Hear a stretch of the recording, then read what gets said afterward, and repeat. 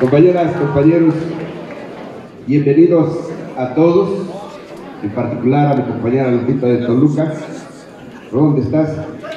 Ah, bueno, le dio miedo levantar la mano. Bien, eh, quiero pedirles a ustedes que recuerden que la última reunión de esta, este expresión, de esta expresión, fue en el mes de diciembre y que no tuve la oportunidad de estar aquí por eh, motivos de enfermedad. En aquel momento arrancaban dos cuestiones importantes, lo de la asociación y un llamado público que hacíamos para tratar de concretar o buscar el camino de la unidad en la organización. Esta, estas dos este, eh, condiciones las iniciamos en el mes de diciembre. Hoy nos está costando arrancar eh, con la asociación y tiene que entenderse las razones de que no tenemos, por ejemplo, un local a donde sesionar, no tenemos recursos, que hay que decirlo claramente, de frente a todos. Necesitamos una oficina a donde a final de cuentas cada uno de los que integran la asociación pueda asistir a ella por cualquier planteamiento que se tenga que hacer necesitamos en esa condición también mobiliario, equipo de cómputo, para que se puedan hacer eh, los trabajos requeridos para tratar cualquier problema. En la actualidad eh, hay muchos compañeros que, aunque se enojen conmigo, no alcanzan a ver el fondo de esto. Yo estoy pensando, al igual que muchos de los que estamos aquí en la mesa, que la necesidad de la asociación es prever a futuro lo que va a pasar. Y en ese terreno nos han dicho, ya van a empezar a lucrar. No es la intención y se los dije desde el principio. No me interesaba, no me, no me llamaba mucho la atención esta organización como tal, porque nos generaría problemas como estos. Hay quienes de todos modos pueden criticar y son los que tenemos, como se dice, enfrente. Pero es necesario que nosotros nos organicemos pensando que algún día o, dentro de dos años no sabemos qué va a pasar. No va a estar este gobierno, estará otro. Y no tenemos la certeza de nada para adelante tenemos que buscar entonces una figura jurídica que nos represente y decirles desde ahora, no es la intención de nosotros permanecer para siempre en la, eh, en la imagen de todos, tienen el secretario general interino que entre bromas me decía, me decía nuestro compañero Celso García, que lo nombraron también prosecretario de obra determinada, ya se les acabó el, ya se les acabó el periodo, ¿por qué no este, convocan elecciones? Y dicen, no, es interino mientras subsista el problema. Y como esto no se va a resolver nunca, pues van a ser siempre en los de Tlatelolco un sindicato fantasma. Y por el otro lado, con el señor de los caballos, igual mi sobrino, mi sobrino. Por el otro lado está Insurgentes 98, que va a ser lo mismo. Ahí se van a mantener.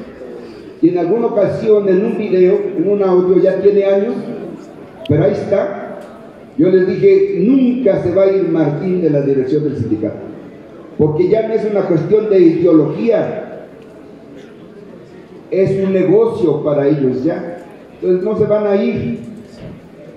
Entonces tenemos nosotros que pensar cómo nos organizamos, cómo nos fortalecemos, independientemente de quien esté o no con vida.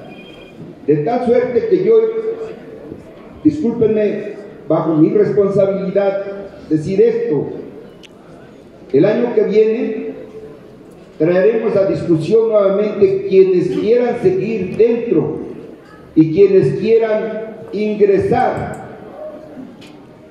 los estatutos prevén los cambios de los miembros de la asociación, pero aún así nosotros pondremos a discusión aquí, no pretendemos ni seguramente podremos permanecer siempre. Esto se lo señalé y lo vuelvo a ratificar ahora y que quede establecido. Esto es transitorio. Esto es transitorio en tanto recuperamos las instalaciones del mexicano de electricistas. Esto es transitorio. Mientras recuperamos las instalaciones, las instalaciones que son nuestras, no son de unos cuantos, son de todos los que integramos la organización del mexicano y así lo alcanzaremos. Por lo tanto, compañeras, compañeros, requerimos de la disciplina adentro de la asociación. Yo he dicho, cuando me han comentado que si la asociación está conformada a modo, nunca me gustó quedarme callado. Toda mi vida no me ha gustado quedarme callado. Y en el comité central, los plenos que hacíamos decía, es un error que estén diciendo que el Comité Central está sujeto a la voluntad del, secretario general. Si éste se equivoca, nos vamos a equivocar todos. En las asambleas generales se acostumbraba algo que decían, si quieres que diga algo, tú dime, ¿qué quieres que diga? Los oradores, obvio, se venía con una costumbre que había que darles una lana y yo dije que no, porque si, otra vuelta, si me equivoco yo, ¿qué se espera entonces de las acciones de la organización? Tiene que haber crítica, tiene que ser un organismo crítico que discuta, que pueda encontrar el camino a la problemática que vamos enfrentando, compañeras, compañeros, y no solamente a lo que diga una sola persona. Ese sería un error. Pero después de esas discusiones, tiene que haber una disciplina entre nosotros, inclusive como asociación, tiene que haber una disciplina. Y en ese terreno estaremos garantizando el desarrollo correcto de esta, de esta expresión que estamos alcanzando en este momento. Decirles también a todos con algo que tenemos que hacerlo, tengo que hacerlo, hay compañeros que se han molestado porque no están dentro de la asociación y cada quien dice, yo merecía estar en este puesto, yo merecía estar en esta condición política, porque yo saco volantes, porque yo trabajo políticamente, entonces yo merezco estar así. Y yo me recuerdo desde que era yo peón en la fábrica de estructuras, decía un compañero mío, nadie tiene más derecho a ser representante que yo. Yo ya soy sobrestante, por lo tanto ya tengo derecho más que ustedes que son peones. Y tampoco eso es cierto. Es entonces el desarrollo, la actitud, el trabajo, lo que a final de cuentas nos va involucrando. También en el caso de las compañeras mujeres. Cuando discutimos y decimos, tiene que haber una paridad de género, tiene que haber tantas acá y tantas allá. Bueno, pues participen, compañeras, que participen las mujeres, que se organicen las mujeres. De esta forma, yo recuerdo que en alguna ocasión me, decían misógino. No fue aquí, estuve o tuve la oportunidad a una invitación en España, en una universidad, y había compañeras mexicanas y yo decía yo, las condiciones, las condiciones en términos generales de aquellos países que tomaron las riquezas, robaron las riquezas de los pueblos, son diferentes las mujeres a nuestras compañeras, a nuestros hijos, nuestras familiares en México. Y no solamente en México, en todos los países que fueron tomados o invadidos por las potencias. Mientras ellos tienen una infraestructura como país, producto del robo, del saqueo a las naciones, nosotros ahí nos vamos quedando rezagados y nos dicen del tercer mundo. Pero en la medida en que participemos, en esa medida alcanzamos nuestro lugar en la actividad sindical, en la actividad política. Esto que he mencionado, no solamente lo de las mujeres, es para aquellos compañeros que estaban inconformes con esto. Pelearnos por la asociación y yo digo, ¿qué, qué estarán pensando? Es como en una discusión que hubo en la formación de la planilla, alguien me dijo, puede ser que aquí esté mi compañero y se enoje conmigo, no pueden encabezar, a mí mi, punto de vista es este, Dice, bueno, déjenme la tesorería. ¿Y esa por qué chingados les gusta la tesorería? ¿no? Entonces, no. Aún el estatuto prevé dos firmas del manejo económico de la asociación, que es el del presidente y el, y el tesorero. Pero yo voy a firmar también todo, porque tengo una responsabilidad frente a todos y no voy a correr ningún riesgo. Vamos a cuidar el manejo, el desarrollo honesto de esta asociación transitoria. Y para aquellos compañeros que aspiran a participar, lo tendrán que hacer.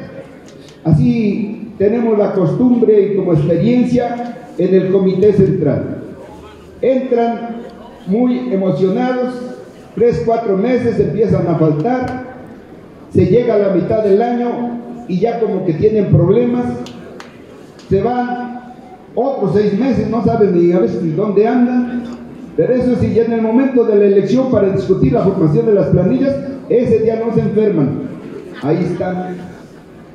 Y, y es cuando se enojan, se enojan inclusive eh, conmigo porque dicen que yo lo saco. Yo les he dicho a los compañeros de la asociación en la primera reunión que hemos hecho todos, todos el viernes, que cada quien asuma su responsabilidad, trabaje por el bien de todos. No estén pensando que aquí, como dijera un compañero, oye Rosendo, ya viste la antigüedad que tienes claro, a mí me planteaba que jugara yo para secretario general y lo estoy, diciendo públicamente. En el periodo de Pedro Castillo les dije, no, mi antigüedad es de tal y no, no aguantaría yo jamás 12 años como secretario general. No puedo, no voy a participar. Y entonces cuando me dicen, es que si te pones a pensar, tú con tantos años terminarías millonario o sea, el objetivo es hacerse de billetes. Y si hubiera cometido un error en la tesorería, ¿saben qué hubiera, qué hubiera pasado ahorita? Estuviera ya hasta en la cárcel, En la cárcel, diferente a la que me quiere mandar José de la Cruz. José de la Cruz me quiere mandar a la cárcel porque estoy usurpando funciones. Y sí, Estamos, estamos usurpando funciones. Esas funciones ellos las abandonaron, ellos las traicionaron, ellos debieron haber recibido hecho, no solamente, no solamente estar amenazando a los compañeros. Vean nada más, pobre de José, pobre, les dice a los compañeros que se van a integrar al, al grupo de compensación vitalicia, les dice bastardos, traidores. ¿Por qué no nos explican ¿por qué no nos explican cómo lograron un grupo, entre ellos la familia de Martín, con rentas de 60 mil pesos mensuales? ¿Por qué no nos que nos los explique José de la Cruz en lugar de estar gritando? ¿Y saben por qué gritan? Porque están en el desierto ya, están abandonados. Las obligaciones que tienen ellos de acuerdo al estatuto debieron haberlas hecho. No lo hicieron. Al contrario, compañeros como ustedes o como nosotros que protestamos o como ustedes que no pudieron regresar a trabajar, que no les pudieron garantizar su antigüedad, que se la respetara el Estado, ellos felices de la vida. Y hoy los escucho que me van a denunciar. Yo digo, pero se, se les está haciendo tarde. Vayan, Herrera, vaya José de la Cruz, vayan y denúncienme que tramité en la presidencia de la República la jubilación para mí de nuestros compañeros que tenían 19 años, 6 meses, un día. Y también que logramos que el propio presidente de la República le condonara la las deudas a los compañeros y les entregara la liberación de hipoteca. Claro también que me, me presionen con eso y que también me denuncien porque estoy buscando el regreso al trabajo de nuestros compañeros que tienen menos de 19 años, 6 meses. Ese es el, en todo caso, ese es el delito y yo desde ahorita me declaro culpable Ahora bien, se ponen ustedes a pensar en lo que hemos vivido. La semana pasada estuvimos en el INDEP y agradezco la respuesta de todos ustedes. Y cuando hay un llamado, tenemos que estar todos, no solamente los que tienen el conflicto o el problema como en esta ocasión que era los que no se les había pagado. Tenemos que hacer un esfuerzo. No es válido que digan es que nos avisaron de un día para otro. Eso es lo valorable. Eso es lo que le da valor. Un llamado aún en la tarde, el domingo en la tarde, para que pudiéramos estar presentes. Y me desesperó que no me contestara una vez, y lo dije públicamente, y lo aclaró Juan Carlos, el director no me contestó el teléfono una vez y yo he dicho, yo no te llamo para hacer bromas, ni para invitarte un pulque, porque eso lo hago aquí con mis compañeros. No me contestas el teléfono porque ya no tenían respuesta. diario estoy insistiendo en los problemas. ¿Y qué sucede ahí? No me contesta. En ese momento que no me contesta, hice el video. Si quieres mal hecho, pero lo que me interesaba era la comunicación y yo los felicito a mujeres y hombres que acudieron al llamado. Y la respuesta fue que se comprometió al pago inmediato y así se hizo. Y vean ustedes, no necesitamos de escaleras, no necesitamos de irle a mentar la madre a nadie, ni de bloquear, no lo necesitamos. Tenemos que actuar en forma diferente y con inteligencia. La respuesta fue muy importante, de tal suerte que a todos los felicito, compañeros. Y así es como se siente uno con ganas de, métanme al bote si quieren, cabrón. Sé que eso les dolió. Les dolió porque vieron lo que dijo Martín en su rojo y, y lo que queda de negro en su mente dijo, yo he hablado con Juan Carlos a diario por teléfono con él y, este, y les van a pagar hoy mismo lunes o mañana martes. ¿Y qué tal? Que no es, así, no es cierto. ¿Se pagó después? ¿Qué pasa ahí, compañeras? Hoy puedo decirles, y otra vuelta, gracias, este sí, José de la Cruz, gracias José, Gracias a, Jorge Herrera. Y ahora no he, visto, no he visto el oficio firmado por Jorge Herrera y por Martín. En este mes, en el mes de marzo, todos mis compañeros de compensación van a cobrar el 7.8% de incremento salarial este mes de marzo, al igual que mis compañeros, al igual que nuestros compañeros jubilados. Y no, no requerimos de otra cosa porque esto sería mentiroso como ellos si les digo que yo lo estuve discutiendo y que las negociaciones y que el nivel político de mucha altura, no. Esto ya está en la nómina para el mes de marzo, compañeras y compañeros. ¿Para qué seguirnos engañando? Yo creo que la asociación tiene que marcar también algo diferente, algo, algo que no, eh, a veces no nos gusta, pero tenemos que cambiar algunas cosas.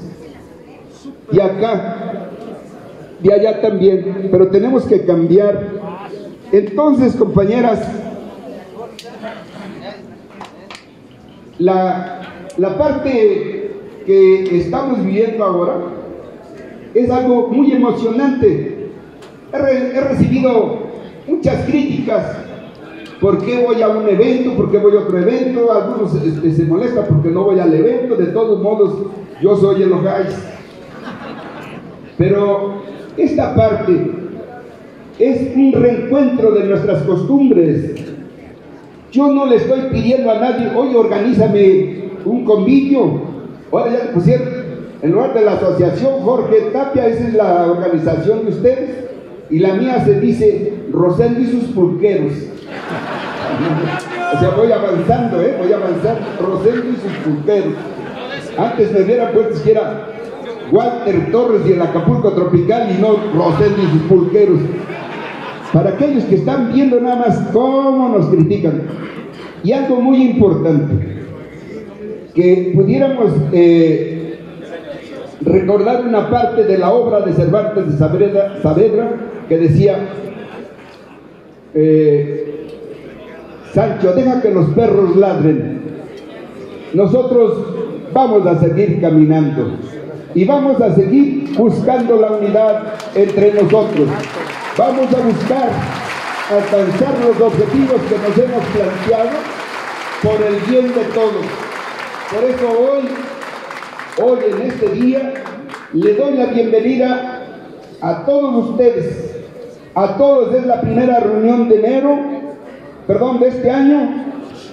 Y también aprovecho para darle la bienvenida a nuestros compañeros del Frente Democrático de Jubilados que por primera vez se presentan aquí con nosotros y que estaremos en la primera oportunidad ahí con ustedes discutiendo, buscando entre todos la verdadera unidad de la organización.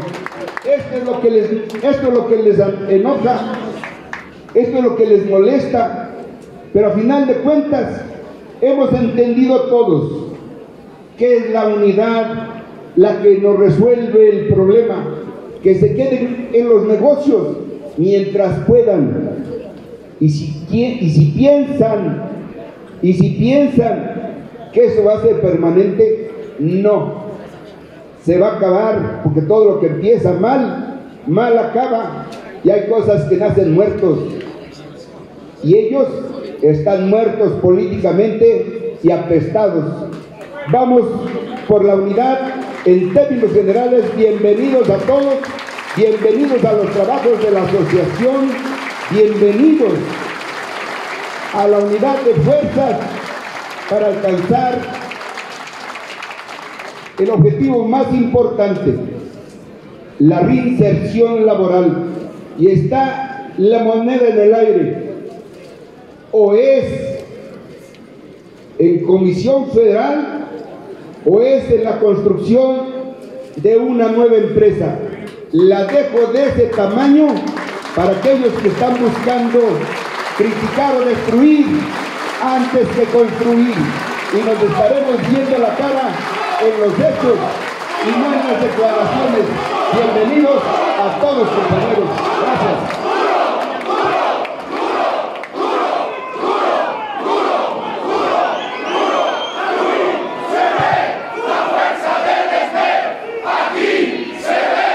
La fuerza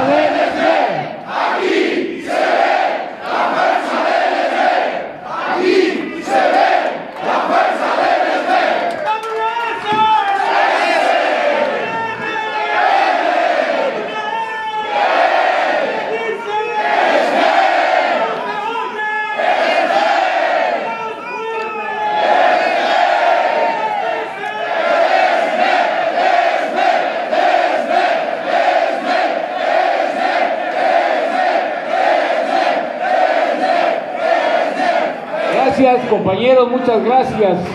Vamos a darle continuidad a este punto, cediéndole el uso de la palabra a nuestro